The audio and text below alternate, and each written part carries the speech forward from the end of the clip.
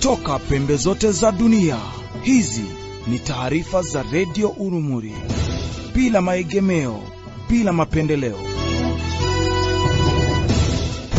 Hujambo mpenzi msikilizaji wa radio Urumuri, leo ni tarehe tatu Septemba mwaka elfu mbili kumi na tisa na karibu kwenye taarifa ya habari za radio Urumuri.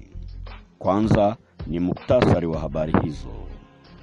Banki ya Dunia ime, serikali ya Rwanda deni ya dola za Kimarekani milioni 125 za kusambaza umeme kote nchini Rwanda kabla ya mwaka wa 2024. Burundi, vyama vya kisiasa vimejiandaa kwa uchaguzi ujao wa mwaka 2020. Marais katika Jumuiya ya Afrika Mashariki wanashutumiwa kutowarahisishia wananchi ushirikiano wa kikanda kupitia usafirishaji wa watu na bidhaa baina ya nchi wanachama wa jumuiya hiyo. Sudani Kusini imewafukuza kwao Wakenya kumi na na Waingereza wanne kwa kutolipia ushuru na madeni ya wafanyikazi kwa kampuni yao. Pope Francis amteua kardinali mpya kutoka nchini Jamhuri ya Kidemokrasia ya Kongo. Naye Pope Francis alichelewa mkutano wa maombi kwa sababu alikuwa amekwama kwenye rifti na baadaye akaomba msamaha alipofika kwenye ukumbi wa maombi.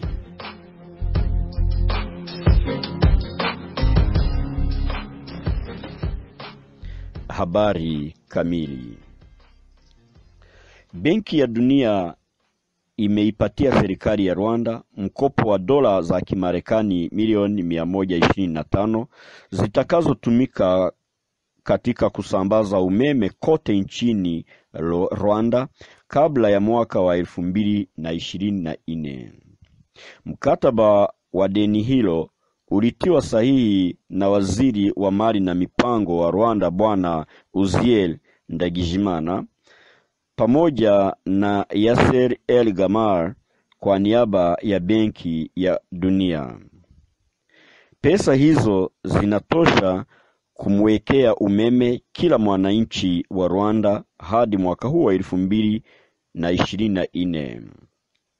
Mkopo huo wa pesa nyingi umepatikana nchini Rwanda wakati ambapo kunaripotiwa visa vya ufisadi katika kampuni ya kusambaza umeme REG.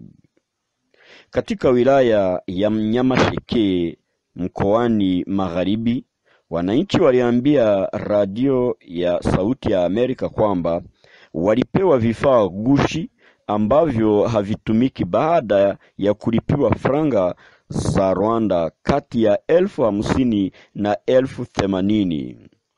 Vifaa hivyo ambavyo vina lebo ya kampuni ya usambazaji umeme nchini Rwanda REG vinavyojulikana kama cash power havikubali kuchukua token za umeme baada ya wafanyikazi wa REG kuviweka katika boma za wateja kama wanavyodai wenyewe. Ofisa mkuu wa kampuni ya kusambaza umeme nchini Rwanda REG alisema kuwa hao sio wafanyikazi ambao waliviweka vifaa hivyo, na akaongeza kuwa huduma za kampuni yao hazilipishwi pesa taslimu, yani cash. Maanake hao ni waraghai wanaotumia jina la REG kulingana na afisa huyo. Wananchi waliolaghaiwa wanaambia serikali kuingilia kati ili wapate haki yao. Matapeli hao hawezi kosa kujulikana kwa sababu wananchi wanadai kwamba waliendelea kufanya mawasiliano kupitia simu za rununu. Nchini Burundi, vyama vya kisiasa viko tayari kushiriki uchaguzi ujao wa mwaka elfu mbili na ishirini ingawa wanasiasa wana wasiwasi. Mashirika ya kiraia pamoja na viongozi wa vyama vya upinzani wana kauli ya kuwa uchaguzi ni lazima kwa sababu uchaguzi ndiyo njia bora ya demokrasia na amani, lakini wanaomba tume ya kushughulikia uchaguzi nchini Burundi seni kuhakikisha kwamba uchaguzi huo uwe wa huru na wa haki. Nchi ya Burundi ilikumbwa na msukosuko wa usalama tangu mwaka wa elfu mbili na kumi na tano wakati ambapo rais wa sasa Pierre Nkurunziza alipotangaza kuwania muhula mwingine ambao ulichukuliwa kwa upande wake kuwa wa pili, huku wapinzani wake wakiona kuwa watatu. Rais Pierre Nkurunziza alitangaza kuwa hatawania kiti hicho katika uchaguzi ujao wa mwaka wa elfu mbili na ishirini. Marais katika Jumuiya ya Afrika Mashariki wanashutumiwa kutorahisishia wananchi ushirikiano kupitia usafirishaji wa watu na bidhaa baina ya nchi husika. Raia wa nchi hizo wanaona kuwa marais hao hupitisha miswada na makubaliano au miradi inayowahusu pekee bila kujali wananchi, huku wakijali jinsi watakavyosalia uongozini. Wengine wanaona kwamba marais hao ni kama hawaelewi sheria zinazoiongoza jumuiya hii ya Afrika Mashariki au wanazikiuka sheria hizo kimakusudi. Wengine waliotoa maoni wanapendekeza kuwa jumuiya ya Afrika Mashariki inafaa kuiga mwongozo wa jumuiya ya nchi za Ulaya. Sudani Kusini. Raia kumi na sita wa Kenya na wengine wane wa Uingereza walifurushwa nchini Sudani Kusini kutokana na kutolipia deni za ushuru na wafanyikazi kampuni yao. Watu hao wamepewa hadi saa sabini na mbili ili wawe wamemaliza kulipa madeni hayo kama inavyotakikana. Hiyo ni habari ambayo ilitangazwa na The East African. Roma. Pope Francis amemteua kardinali mpya kutoka nchini Jamhuri ya Kidemokrasia ya Kongo, na huyo ni askofu wa Kinshasa Fridolin Abongo kuanzia tarehe moja Septemba mwaka wa elfu mbili na kumi na tisa. Na makardinali wengine ambao wameteuliwa na Pope Francis watajulikana hapo baadaye.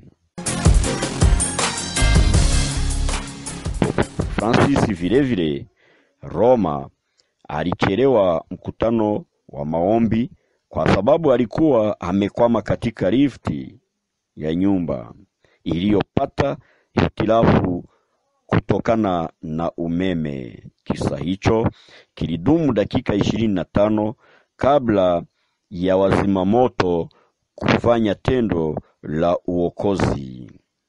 Pope Francis alipoingia ukumbini katika bazilika ya Mtakatifu Petro Roma, alisema kwamba ni lazima aombe msamaha kwa kuchelewa bila kujali sababu zilizomfanya achelewe.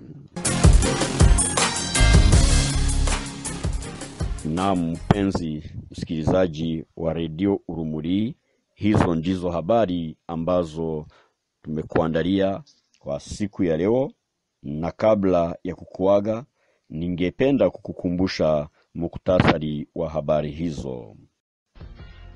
Rwanda.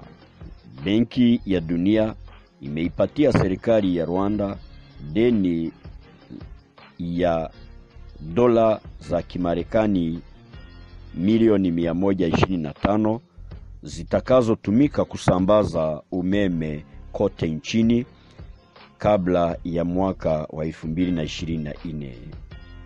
Burundi, vyama vya kisiasa vimejiandaa kwa uchaguzi ujao wa mwaka 2020 ingawa wanasiasa wa upinzani wana wasiwasi.